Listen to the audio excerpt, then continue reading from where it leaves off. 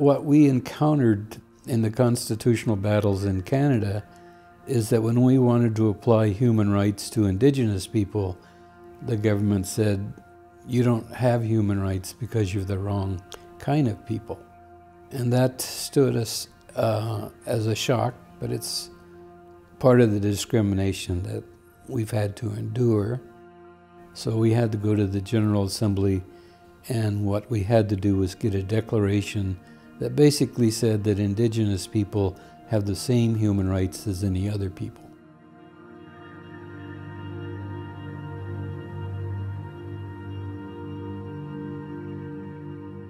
Canada's current legal landscape in relationship to Indigenous peoples is complex. There's one story that is about the denial of Indigenous place and governance in this land. When Indigenous peoples first encountered Europeans, there was a nation to nation relationship, a meeting of equals, where there was mutual respect and uh, the pursuit of common goals. As we went through the 19th century, we found that those goals were eroded and the nature of the relationship was one of uh, sovereign to subject. And that places Aboriginal peoples in Canada in a subject to sovereign relationship, much in the same that citizens under the Charter are in relationship to the federal government as their sovereign.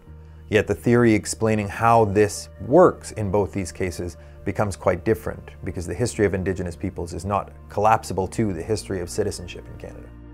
Canada has never yet recognized an Aboriginal right to self-government, unlike, for example, in the United States.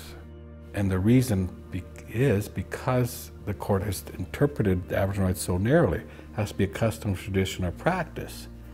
Um, and that an argument that you have an Aboriginal right to self-government is seen as too broad in scope for the court to even be prepared to recognize because they've defined the rights so narrowly. UNDRIP changes Canada's relationship with Indigenous peoples in terms of the duty to consult by saying that the honour of the Crown, which is a part of the legal duty to consult, must involve the free, prior, and informed consent of Indigenous peoples. What that means is that when the Crown is exercising its powers to develop, that it has to ensure that honor involves the free will or the participatory actions of Indigenous peoples in that goal. So UNDRIP is a mechanism for recognizing self-determination of Indigenous people. This has been a long-fought effort to have states acknowledge that Indigenous people have governance, have laws, have relationships with their lands and territories, and have never given up those laws or governance systems or special relationships with lands, territories, and waters. And I think that's really what the Declaration is seeking to do.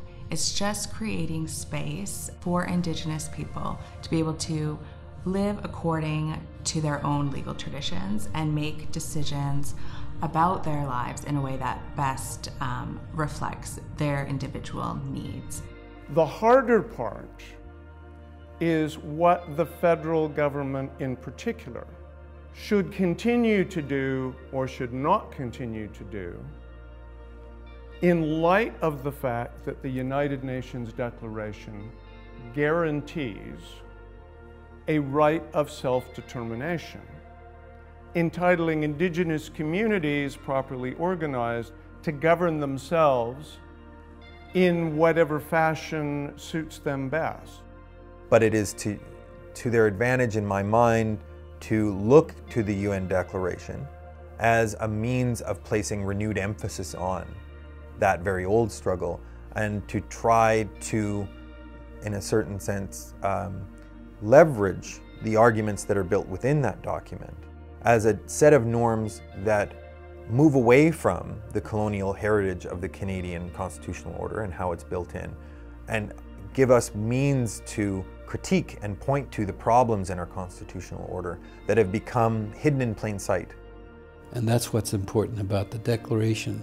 It lays out for states and state governments and other humans, this is what indigenous people want uh, to be respected for.